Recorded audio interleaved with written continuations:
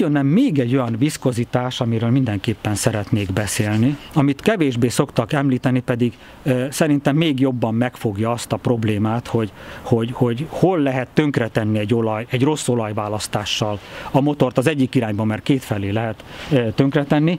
Az egyik ugye ez, amikor túl vékony olajat e, teszünk bele, ez ugye vékonynak nevezük azt, aminek kicsi a viszkozitása, vastagnak szoktuk hívni azt az olajat, aminek nagy a viszkozitása, még nehezebben folyik. Például a, a hajtórúd, amikor találkozik a főtengelyel, a forgatjuk arról ott, amikor a kettő összenyomódik, pláne munkaütemben, a túlhígolajat kinyomhatják egymás közül, és akkor ugye ott nincs kenés, a csapágy elkopik. Dobozokon nincs feltüntetve, viszont a dobozokon van egy olyan adat, amiből visszafelé meg lehet, ki lehet következtetni ezt a, ezt a, ezt a viszkozitást. Igaz, er, nem erre van igazából szükségünk, csak arra, hogy a kettő kapcsán megtaláljuk az autónkba való megfelelőt.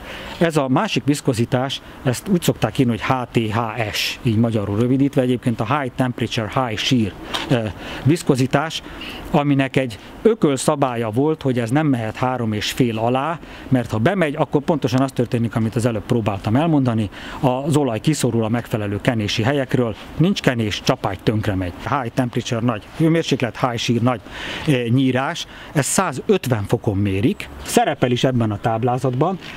Na itt látszik, hogy az 50-es, 60-as olajok és a 40-es olajok is meghaladják ezt a bizonyos 3,5-ös értéket, viszont már a 40-es olajoknál elképzelhető, hogy van olyan, amíg bemegy 3,5 alá, tehát 2,9, 2,9. Ugye a 20-as, na itt jön ki, hogy a 20-as az majdnem egy egész értékkel van a 3 és fél alatt, és jön a 16-os olaj, ami ugye 2,3, tehát az már borzasztóan sokkal-sokkal kisebb itt 150 fokon, mint a 40-es, 50-es, 60-as olajaké. A miért fontos ez a 150 fokos mér, mérés? A hűtőfolyadék, a hűtőrendszer próbálja azt a 100 fok körüli hőmérsékletet föntartani, de ettől még a motor belső alkatrészeinél a hőmérséklet magasabb, tehát például a, a főtengelynél is vannak ilyen 170 fokig fölmelt a hőmérséklet, a gyűrűk alatt dízelmotorokban 300 fokig, tehát igenis fontos ez a 150 fokos mérés, nem véletlenül méregetik ezt, és van, ahol erre hivatkoznak is, hogy ez az érték mekkora az adott olajban, mint például a következő táblázatban fogják, és ez az érték van összefüggésben tulajdonképpen egy másik jelöléssel, amit megtalálhatunk a motorolajokon, dobozán, és ez pedig a teljesítményszint. Tehát az, hogy, hogy behatároltuk azt, hogy az autónkba, vagy valahonnan megtudtuk, hogy mondjuk 5W30-as olaj kell, ez csak egy első fokozat, egy első lépés, tűnik még a kisebb olajgyártók is mondjuk 5 vagy 6 féle 5W30-as olajat árulnak, de van, aki még sokkal többet. Meg, meg kéne tudni, hogy hogyan tudom őket megkülönböztetni. Ebben segít nekünk a, a teljesítmény szint meghatározása. Ez megint ezt az olajat veszem elő. Tehát itt volt ugye a viszkozitás jelölés, tehát ez egy 15W40-es olaj. Jó, de azon belül vajon hogy bírja a terhelést? Ezt mondja a teljesítmény szint. Itt van egy rövidítés, nagyon piciben, ezen kicsin, ez az API Service SL. Ez megint az American Petroleum Institute, tehát az amerikai olajintézetnek a, a, a mérései nyomán határozzák ezt meg, ők határozzák meg, és ez SL szint a teljesítményszint. Ez ezt általában előírják a motoroknál, főleg egyébként ezt, az, ezt ugye az amerikai jelölés, ezt a japánok és az, az amerikaiak szeretik előszeretettel alkalmazni, és nagyon egyszerű is, mert ha a motorhoz megvan, hogy milyen az előírás rá, akkor annál rosszabbat egyszer nem szabad használni, annál jobbat szabad. Tehát ez, ez relatív egyszerű történet, ha egy motorra előírják, hogy mondjuk S, MS-et kell használni benne, akkor az S-es nem használható, viszont az SMS vagy az SN-es az igen. Ugyanolyat vagy jobbat kell használni, mint amit az adott autóhoz előírnak. Itt van egy, egy másik például, ez egy, ugye egy japán olaj, mint lebukunk, rá is van írva, hogy japán, mert itt is látszik, hogy az API jelölés az S-en rajta van, van egy másik teljesítményszint, ezt itt nálunk nem nagyon szokták használni, tehát ebbe kár elmerülni, de itt is egyszerű, mert minél nagyobb a szám, különben annál jobb az olaj. A japánok ennyivel elintézik, Európában komplikáltabb a helyzet, megint előveszem a másik olajomat, mert ezen az a jelölés is rajta van, és ez pedig ez az ACEA nevű jelölés. Itt Európában mi ezt használjuk, ez egy francia rövidítés az Európai Autógyártók Szövetségének a, a rövidítése, ami Belgiumban székel. Az A a benzinmotorokra, a B a dízelmotorokra vonatkozik, és ugye hármas osztályt, hármas fokozatot határoz meg. Ez a jelölés egy kicsit bonyolultabb, de azért nem olyan életveszélyes, csak nem olyan egyszerű szerintem legalábbis a logikája, mint az amerikai, japán jelölés rendszeré. Tudni itt azt kell tudni, és itt jön elő a HTHS viszkozitás, hogy 1-től 5-ig terjednek ezek a számok, tehát A, A1 B1-től A5 B5-ig, és itt azt kell tudni, hogy a közepe, tehát a, a, az A3, B3, A4, B4 az, amelyiknek nagy a HTHS viszkozitása, tehát ez az, ami, ami régebbi motorokba is betölthető, míg az A1-es, B1-es, egyébként A1, B1 és A2, B2-t már megszüntették, de mind a kettő a, az, az a az egy hígabolaj, kisebb a, a, ez a nagy hőmérsékleti viszkozitás, tehát az már csak olyan motorokba tölthető bele igazából, amelyik, amelyik, amelyik arra van tervezve, majd fogok is erre példát mutatni. És ugyanígy van az A5-B5, tehát nagyon érdekes, hogy a, a kis és a nagy szám az, amelyiknél kicsi a viszkozitás, ez a, ez a nagy fokozatú viszkozitás, vagy a nagy hőmérsékletű viszkozitás, és a, a középső számok azok, ahol nagyobbak.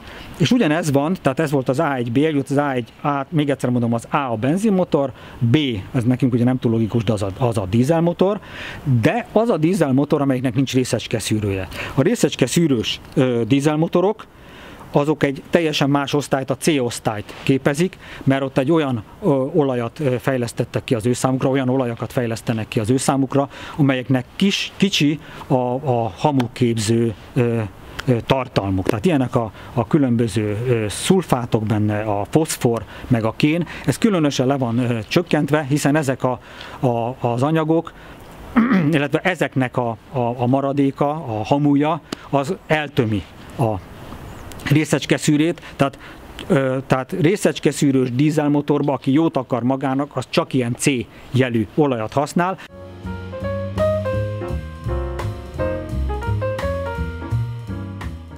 Tehát a HTHS viszkozitásban a három és feles értéket tekintjük határértéknek, ugye ez a 150 fokon mért viszkozitás. A régi motorokban nagyon fontos volt, meg még ma is motoroknál soknál előfordul, hogy a három és feles értéket ennek a nagy hőmérsékleti viszkozitásnak meg kell haladnia, tehát ez egy kicsit vastagabb, ide is írtam valahogy vastag ez az olaj, ez egy kicsit vastagabb mert, mert, mert megkívánja a motor a nagyobb terhelése miatt, míg más motorok a, azokat kívánják meg, hogy olyannal is tudnak működni, azokat szeretik jobban, aminek kisebb a 3,5, most már 2,6 alá is be tudunk menni.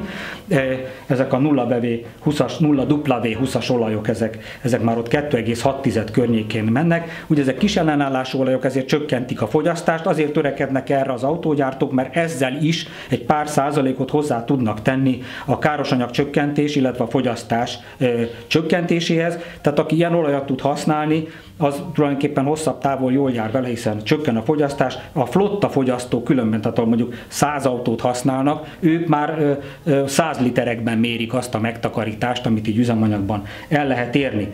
Ami az illogikus, az az, ami talán itt is látszott, hogy a, a, a középső számozás, tehát a C3, C4, illetve az A3, B3, A3, B4 attól függően ugye benzines dízel vagy részecske szűrős dízel, ezek a kicsit keményebb olajak, a kicsit vastagabb olajok, mert 3,5-nél magasabb a, ez a HTH és ez a nagy hőmérsékleti viszkozitásuk, míg az egyes kettesek, illetve az ötösök pedig kisebb. Az más kérdés, hogy az A1, B1, A2, B2, ez 2000 16 decemberével ezeket törölték, tehát ezek megszűntek, már csak ezek az osztályozások vannak.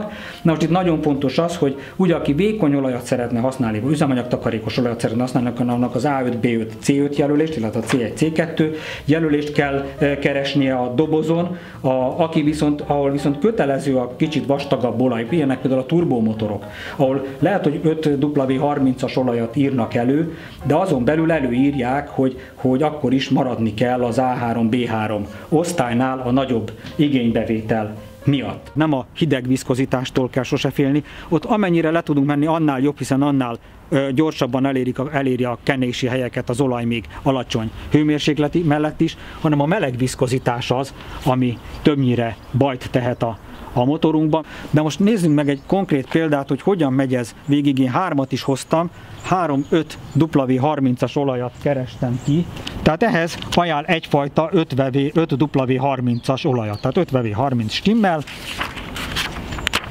előkerestem ennek az olajnak az adatlapját, ez egyébként roppant hasznos, ha elővesszük, és itt látjuk, hogy megmondja, itt van az API teljesítményszint, S-sel szintű, és itt van az ACEA besorolás, A5B5. Vagyis ez a motorhoz, a Ford Focus 1.8-as Duratec 16 szelepes motorhoz. A Ford már ekkor 2005-2008 közötti időszakról beszélünk, könnyű futású olajat, ugye itt, itt az A5-vel benzinmotorról beszélünk, ezért az A5-ös jelzés vonatkozik rá. Azt mondja, hogy szintén benzinmotor, de ez turbós, ez egy, ez egy 3-as oktávia, ugye 12 óta gyártják. Ez igaz, hogy nem ez az első ajánlás, hanem alternatívként ajánlja hozzá, de szintén 5W30-as olajat ajánl. Itt az API teljesítményszín SL CF, és itt van alatt az ACEA, A3, B3, A3, B4, ez ez a, ez a nagyobb meleg viszkozitás, ugye az a, ez már az, ami ugye kielégíti az, a, az vagyis három és fél fölötti. Itt mi az oka a keményebb vagy vastagabb olaj használatának? A, a turbó. Ugye ez az 1.4 TSI motor, ez egy turbomotor, nagyobbak a terhelések, nagyobb az effektív középnyomás, tehát nagyobb az erő a dugattyún, ezért itt egy keményebb olaj, olajat ajánl. Itt van egy Golf 2004-2008 közül 1.9 TDI, ugye egy dízel is legyen mindenképpen azért a sorozatba. Hát itt sem az első ajánlást vettem ki, mert ugye arra mentem rá, hogy, hogy 5W30-as olaj legyen, tehát ez megint egy 5, tehát első körben ez is egy 5, 5W30-as olaj, de, de ha belemegyünk a részletekbe, akkor itt ez egy uh, Acea C3-as olaj, tehát megint ugye középosztályos, megint kielégíti az, öleg, az ökölszabályt egy viszonylag vastag olaj, de természetesen 5W30-asból találhatnánk olaj, olyan olajat, ami könnyű futású. Egyébként annyira jók ezek a, a, a leírások, hogy így meg lehet találni, tessék itt konkrétan méghozzá magyar nyelven lehet megtalálni, ez még egy fontos dolog. Magyar nyelven lehet megtalálni, hogy mennyi a, a, a különböző viszkozitása az olajnak, ugye meg, megadják ugyanúgy, mint itt a táblázatban volt látható, hogy 40 fokon mennyi, 100 fokon mennyi, és, és, és ezzel egész jól be lehet határolni, hogy a, az olaj mégis hogyan működik a különböző hőmérsékleten, melyik osztályba esik bele az adott határokon belül.